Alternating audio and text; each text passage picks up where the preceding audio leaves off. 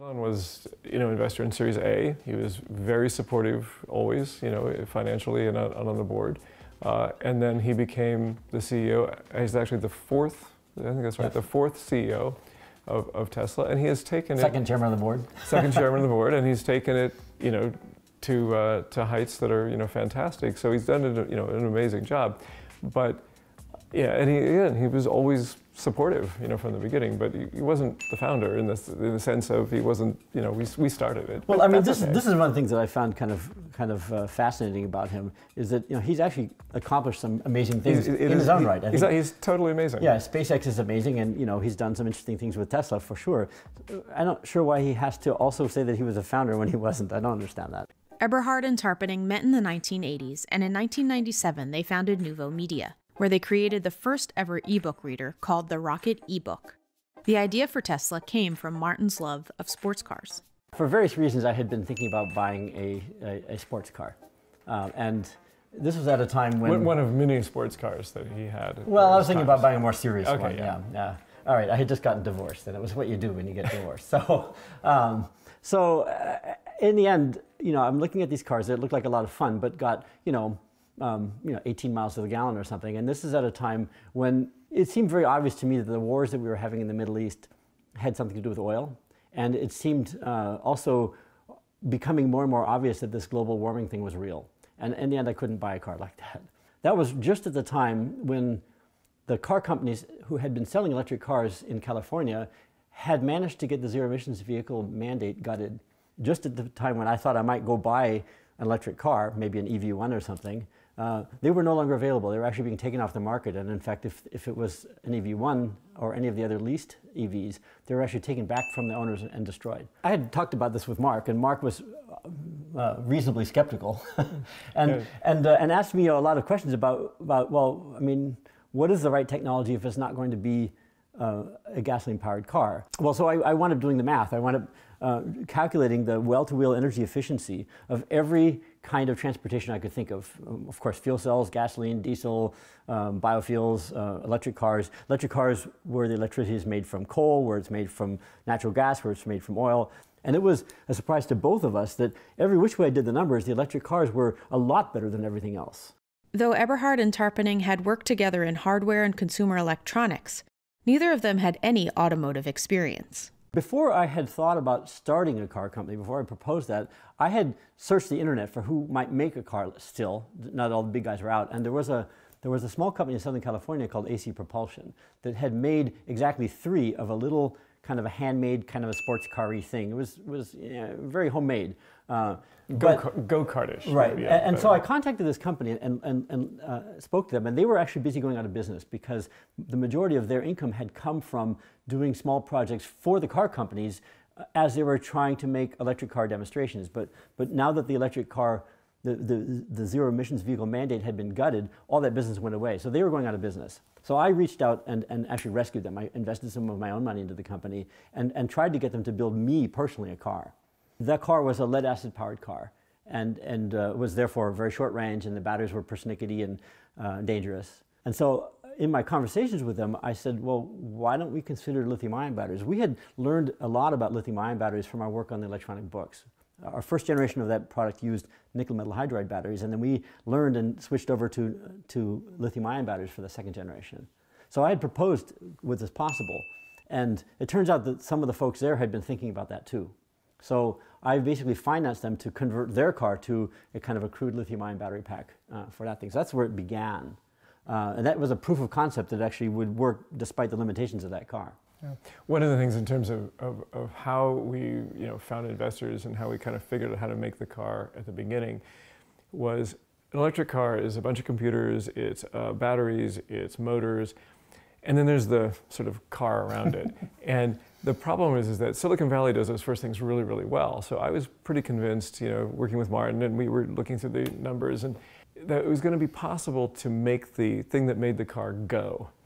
But I was very concerned we weren't going to be able to make the car to go around it. After Eberhard and Tarpenning came up with the idea for the battery, the next hurdle was to build the car around it. They discovered it was fairly common for automotive companies to outsource certain aspects of manufacturing. So they started looking for a partner and reached out to an English company called Lotus. We uh, flew down to Los Angeles for the 2002, I guess, uh, um, auto show, Yeah. the LA Auto Show, and uh, hunted around and found the, the Lotus booth and basically forced ourselves upon the Lotus people. we forced him to sit and listen to our presentation, which he did, Yeah. and was intrigued. Yeah, was intrigued enough that he said, well, you know, come to Hethel, which is in England, and, and we can talk more about this, basically. And I think that was a great gatekeeper because anyone who wasn't serious wasn't going to fly to England, you know, and Yeah. go do that. Um, but of course we did. Lotus was able to write a letter for us that said, if this company can do what it says and gets funded and everything else, We'll be their partner. we might be their partner. Yeah. Might. I mean, Yeah, yeah, was well, it wasn't- it wasn't legally binding, no, no, but yes. But, but it was it was what we needed though to show investors that we had a plan. We had at least a plan, and we had a couple of backups as well in how to make the car. And, and we had shown through my investment in, in AC Propulsion that one could build a battery pack that way. On July 1st, 2003, Tesla Motors was incorporated. We self-funded it first. Some of my money, some of my brothers and friends and stuff like that, little bits of money here and there. And we were also touching the VC uh, uh, community, particularly ones that had made money on our previous investments. Right. But it was pretty clear early on. A lot of the VCs, um, you have to get sort of, if not consensus among the partners, like you know, if, if you have a big fund and you have five partners, they all kind of have to say yes. Or at least you can't have one veto it. So Yeah. it depends on the structure of the firm. But our reality distortion field wasn't good enough to get like all five partners Well, to believe all at and the, the crazy thing is, we come into these firms and we convince the tech guy who's in our space perfectly, totally understand it. We convince a bunch of others, and we get we get actually uh, vetoed by by their biotech guy. You know, Right. That's what happened. At, I don't like sports cars. You know? Yeah, like- or, or, or more than that, I'm an expert in sports cars and you don't know anything. Right. That was more, I mean, because almost every VC is actually an expert on, on, on cars. yeah. Yeah, they're actually, and above average drivers, all Yeah, of them. I, I'm sure. Yeah. Yeah. And then we encountered Elon, uh, and you can talk about. Well, so we, we, had, we had met Elon before in a, in a different way, that we're Yeah. both uh, um, space enthusiasts or whatever, and we were, uh, we were founding members of the Mars Society, numbers 14 and 15, I believe we I think are. yeah, we have our Yeah, lifetime memberships. Yeah, and, and we, uh, we went to a talk that the Mars Society put on. It was, uh, it was at- their, their conference. Yes, it was their the annual conference, yeah. Happened to be And uh, Stanford. one of the speakers was Musk, and he was intriguing. So we cornered him afterwards and, and talked to him for a while, and that was that was nice. That was that was that was sort of it. Uh, and then later on, uh, I had a gentleman's agreement with the management at AC Propulsion, who was also out trying to get money, and they had they had uh, chased down Elon Musk and had tried to persuade him to invest in AC Propulsion. And the chemistry between the AC Propulsion team and Musk was not going to work. And they tried for a while, and after a while, they realized they're just not going to get the deal. And the, the, the, the president of AC Propulsion called me up at that point and says, "Okay, I'm giving up on those guys. You can go ahead and talk to Musk now." So, so, I- so I, I sent an email off to, to, to Elon saying, uh, basically saying, you know, we met at the Mars Society. I don't know if you remember that, but uh, we had this idea, and I'd like to come and talk to you. That was interesting because this was he. So when we met him at the Mars Society, he hadn't started SpaceX yet. He hadn't. That was not in his vision yet. He was trying trying to launch some experiment with missiles from Russia or something. I'm not exactly sure what it was, but he gave up on that and decided to do SpaceX.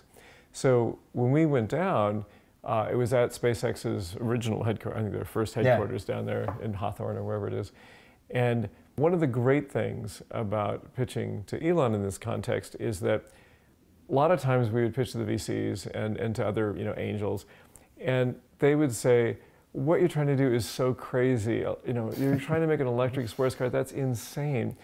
And we are pitching to somebody who is actually trying to make rocket ships. And so, in You couldn't really say that. right? In context, he, he was like, "Oh yeah, I got that. This Yeah. this seems you know and, this and, is and, brainer." and he got our, our, our idea, our vision right away. I mean, Yeah. we, in our original presentation, we said, look, we need to change the way the world thinks about electric cars. Okay, today people think about electric cars as little ugly things that nobody wants to drive, uh, and, and and we know we can make an electric car that's very different. So, to change the way people think about that, we need to make something that's radically different than what uh, than what people expect. And so, we'd like to make something as a, that's a high performance sports car to, to, to destroy that old image of what electric cars were. And then follow that up with, with more mainstream cars getting more moving down market as it becomes more more possible. And he got that. yeah, He yeah, was like, he yeah, was he totally sense. got it. yeah. In April of 2004, Musk invested $6.35 million of his own money in the Series A round to help get Tesla Motors off the ground and became chairman of the board. We sat down at one of our local coffee coffee shops and I proposed to you, could we architect a battery system using the battery management um, knowledge that we had from, from, from the Rocket book and scale that up to the size of a car battery? And we, we penciled that out maybe even on napkins or something in, in the coffee shop. And, and no, engineering pads. We didn't. That's we, true. We, we always had our engineering That's pads true. with us. But we persuaded ourselves that it was was- it was gonna- it, it was was it was actually feasible. What was challenging? What was it like? Just what did it? Everything Oh, was ev- ev- challenging. everything's hard. Everything. we were everything inventing from scratch. This was something that had never Yeah. been done before. Right. Yeah, and, and just you know handling that many cells was a problem mechanically, and, and, and sort of making sure that they're safe, and you're dealing with all. So do you remember when we came back was from that conference where they had done a? Um, we- somebody was talking about the, the danger of these lithium-ion batteries. It was just at the time when, when in the news were suddenly a bunch of laptop fires. There weren't very many of them, but they were quite dramatic, and the, the videos went viral on, on the internet. Uh, and so our team took some of the cells outside, charged them up, and forced them into thermal runaway, and they were very exciting. So then we made, made a a uh, a small uh, representation of what we thought our, our large battery pack was going to be like. We went up to my house up here in the hills, dug a big hole in the ground, put that down in the ground, put a camera down in there, put a big piece of plywood on top of it and a lot of weight, and then force that, that group of, of cells into thermal runaway to see what happened. And the, it was very exciting. And the result of that was our first really big schedule slip. That was when we Yeah. said that until we get a, a handle on this, this lithium ion safety issue, it's a, it's a day for day schedule slip until we figure it out. Yeah, and, and I want to say we never did that again. After after that was one really thing, fun. no, at your house. I mean, you know, we we then uh, rented a fire pad, you know, a fire pad on the bay, you know, controlled by the fire marshal from that point on. Well, that was partially we then learned. It's like, oh, we really need to take this in Right. a, in a way that we Right, and, really and thought. that was the right thing to do. I mean, and this was, you know, it was one of these things where we, we saw there was a potential problem and we went and learned that lesson pretty Right. quickly. And it was, it was, and this is where, you know, basically I set as the company's gold standard that you have to prove on the battery design that, that you, you, you should be able to assume that any of your cells in your battery system will, for reasons you don't understand, go into thermal runaway. And you have to prove that when it does, it does not propagate to adjacent cells. That was the rule we set. And it took a while before we could do that. right.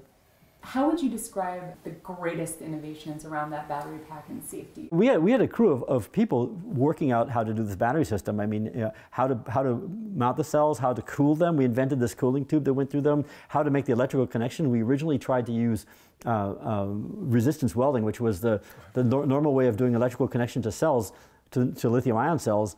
Until we came along, we discovered that that was, was unreliable and um, and worse than that, you, you couldn't tell if, if you made a good weld or not at the time of, of assembly. And, and we, we, we experimented with a lot of different ways to do that and finally settled on wire bonding, which has then become the, the, the, what everybody copies now when you're making a, a, a, a, cylindrical cell battery pack. Yeah. So we had to invent a lot of stuff, and there was a lot of trial and error. Trying different kinds of glues to make the cooling system work, inventing different kinds of cooling tubes, different kinds of insulation. Everything had to be invented from scratch. There was no state of the art. Nobody had ever, ever considered taking you know, nearly 7,000 cells and putting them all together into a battery pack. Nobody had ever done that at all. It was, it was insane when we described it to people. Right. So, so today, I mean, today, all of the battery management systems in every electric car today is based on that work, all of them. In 2006, Tesla unveiled the prototype of its first car, the Roadster. The all electric sports car sparked a lot of interest before it was even for sale. The launch event, I don't know, it's a ton of people inside of a big tent. It was really, really loud. Um, I had my kids there. They were little at that point. My, my daughter was dressed up in a beautiful little white dress, and my son was in a tuxedo. He was very proud of himself. He was, you know, four or something. Uh, and, uh, uh, and we had these cars going around, and, and uh, you know, I stood up and gave a talk about what the car was doing and welcoming people and so on, and inviting everybody to get in the car and drive. And I don't know, it went on for until were all exhausted. Yeah. Oh no, the, the, I have a very distinct memory. Is that before the event starts? So we're still setting up. We still, you know, we're, we're no visitors are coming Yep. in for another, you know, two hours. I mean, it's really early, and there had been a rumor that Governor Schwarzenegger, who's governor at the time, might might show up, but you know, like, who knows, right? So so we're there, and I'm with one of the other engineers, and we're, you know, the literally moving chairs around and getting stuff. And in walks Schwarzenegger and his sort of entourage. He goes, "Where are the cars?" And he comes, yeah. And that I, it, we, Yep. neither of us, we were both. We were, it was such a surprise, and it was hours before it was, we were ready, and we just kind of pointed. We didn't say anything. We, and, he's, and he walks over, you know, and gets in one. It was great. Can you tell us a little bit about how you innovated in terms of the sales and why you did that? in terms of taking pre-orders, and for, correct me if I'm wrong, but that was really not in our original plan. We would do uh, Show and tells. show and tells, you know, of, of various prototypes, and, and we had receptions at the R&D center, Yep. you know, our offices in San Carlos, and uh, you know, and it was all about you know keeping our customers engaged and letting them come along on the journey because it really was a journey, and we didn't really know exactly the timing, and you know, we were quite open about, oh, we had a setback here, or you know, or this went really well, and and that we put pictures up of internals of the things yeah, and, and, we had the we had customers literally say like, "This is the most exciting thing I've been involved in," Yeah. even though in some level they just wrote a check, but they were they but they they believed in the vision enough to write that check, Mhm. and now they're participating in this process that we were going through. Right. You know what ended up happening is as people as we were coming out of stealth mode and people would or we were still in stealth mode, but as more people found out about us, they would come and say, "I want to be on the list." Even before that, some a bunch of our smaller investors or individuals right, would yes. say, "Well, I want to buy a car, and I'll just give you, I'll pay for it now." Yeah. The whole thing, I'll put hundred thousand dollars on down now, Yeah, I- and I want to be on the list, and and, and, and I want to know what place I am on the list. Right. And we didn't have a list, and it was not part Well, of. we did. I made but- one. Well, no, I know. It but- was a spreadsheet on my computer. right, but, but we made it in, in response Exactly. to, uh, to incoming demand, which was it wasn't like we had this you know clever marketing thing we were going to do. I mean, we just people kept asking. So then we said, well, you know, actually there's clear interest in this. What can we do from a business perspective to make this work, and a way of supporting the customers as they as they make these commitments to us, uh, and that's how we came up with the whole program. You know, there were many technical setbacks, and that just happens in a startup. For us, I would say the thing that turned out to be the hardest that we didn't know at all, that totally caught us by surprise, was the difficulty of getting suppliers to supply Yes, stuff for us, right? totally. We originally planned to use a lot more, more standard technologies, for example, ordinary door handles rather than electric door handles. Uh, and, um, and as we, as we changed to more and more exotic ideas along the way, we, we took on more and more risk of that. But nonetheless, I mean, just getting a supplier to supply us with airbags. I mean, uh, the airbag supplier would look at us and say, first of all, the amount of, of airbags you're going to buy is what a, a normal car company would buy for a, pro, for a prototype run for, for their you know cars that never get sold, and that's it. And on the other hand, uh, you don't have deep pockets, so all we see is risk. So it, it, so that to persuade them to, to, to actually be willing to sell us airbags, seat belts, door latches, you know, any kind of safety component, it, it was everyone was a struggle. Yeah, we, that was something we just didn't anticipate. And we knew it'd be hard, but we didn't know how No, hard. yeah, yeah. I mean, we- we just assumed that the suppliers, you know, would be willing to work with us in a way that they what they weren't, and that was something that Lotus really helped us with because Yeah. they had those existing supplier relationships. Do you want to say anything about key players who were there in the early days with you? I, you know, I kind of think the whole gang of them were pretty good. I don't know. I mean, what that early crew put up with in the early days. Yeah. When JB likes to call himself a founder, it's it's uh, it's funny because um, Tristan started the same day. That's right. So yeah. if he's a founder, so she. yeah, right. right? So she was uh, one of our software engineers, really first rate. Yeah. Um, and uh, and now she's just you know quietly going on with her life, and she was as much a founder as, as JB was. In the summer of 2007, Eberhard was replaced as CEO and left the company a few months later. Musk eventually became the fourth CEO of the company and has held that role since October of 2008.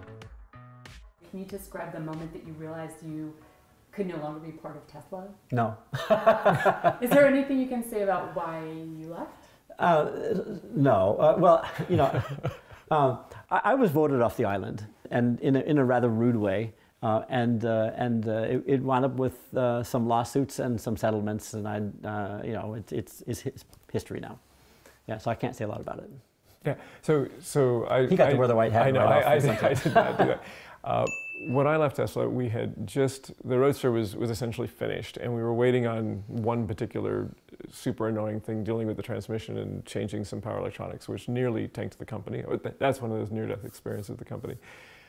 And we were reassigning all of the engineers to the new sedan project, which we'd been working on in a small level for the previous year or so. And as the engineers would come off the design team for the Roadster, we were shifting over to the to the Model S. And I looked at that, and I had three little kids at home, and I'd been doing nothing but Tesla for five years, and I thought it's going to be another five years. And Martin wasn't there anymore; it wasn't as much fun, and I thought, yeah, it's time to leave. And I don't have any regrets. It was an awesome time. Yeah. The whole thing was wonderful from the beginning to the end. It was, you know, the worst and the best, and uh, and it's worked out great. Tesla restarted the electric vehicle revolution. Without Tesla, there would not be electric cars today, and electric cars are the most important change in the automotive industry. It's transforming the entire auto industry, and it all comes from what we did at Tesla. If, if you look at the original business plan we wrote for Tesla, we described in great detail the Tesla Roadster, and we said, once this car is successful, the next car we should make is either a, uh, a large SUV, an expensive SUV, uh, or a, a large um, uh, sedan. Uh, and once that's successful, the next car would be down market, a sedan for a smaller size market. So it is more or less following what we predicted. I mean, not in the details, but in the in the yeah. uh, in the big picture, it's exactly what we thought should be done. The, the, sedan market is enormously large. It's much much bigger than than the uh, sports car market, the roadster market. And then below that is the sort of you know Model 3 uh, segment of that market. And if you're going to have a big impact, you, you have to play there.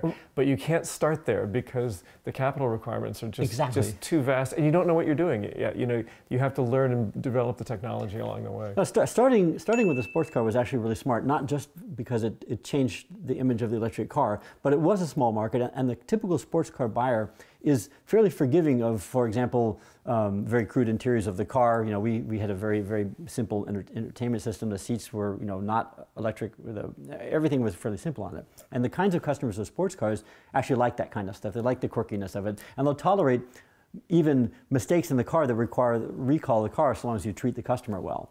Does the Elon today, does that look like the Elon you knew in 2003? I think Elon's Elonness has increased over the years. No. If you had to describe him in a nutshell. No. I mean, if you wanted to describe Elon Musk in a nutshell, I don't think he would fit in a nutshell.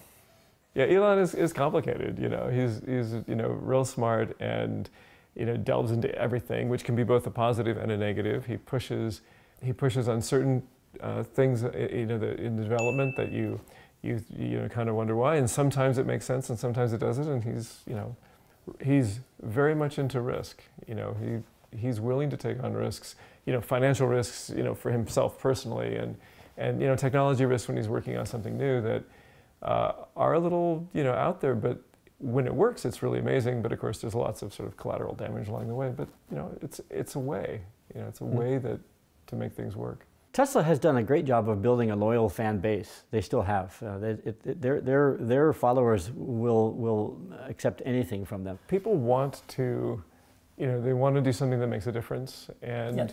I think it's, it's still, you know, it's, it's, it still has that excitement. At least I hope it, I hope it does. I mean, it's reached across from the early adopters into a more mainstream audience, and that's right. you know that's that's critical. And and of course, a lot of a lot of people now who are buying the cars are just buying a car in some sense, which is in a way better, right? It's, it's what, it we did it. We, you know, we yeah. got across that chasm. Although even then, you know, I will hear people eh, that have no idea that I'm associated with Tesla anyway. They'll say, "Oh, we just got our Model 3 or whatever," and it's it's so great, and I just love. I mean, they're into it in a but, way but the, that they're the, not in a. The, the main thing Porsche. is that they just drive differently. Yeah, they're you, way, you go way for a drive in, in a Tesla, and it, it does not drive like your previous gasoline car. It's more fun. Would you say you're still rooting for Tesla today? Uh, I'm of course rooting for Tesla. I'm still a shareholder, and I'm uh, I'm uh, still very interested to see that the mission that we pushed Tesla on in the beginning succeeds for sure. Yeah, the, the, the mission is so important, and you know, as a shareholder, I want it to be successful. Uh, yeah. So yes, so, we want Tesla. I mean, I mean one of those kind of aha moments early on in the days of, of, of, Tesla, before Al Gore came out with his, his movie, he was lecturing at various places around the country, and we and a couple of our staff went to go hear him speak at uh, at Stanford. Stanford. As we walked out, one of our one of our colleagues, Ron. Um, said, you know, because he was shaken by the talk also, and he, yeah. he, said, "We've got to do something about this. We have to do something." And I said, "Ron, what do you think we're doing? That's the whole point of the company."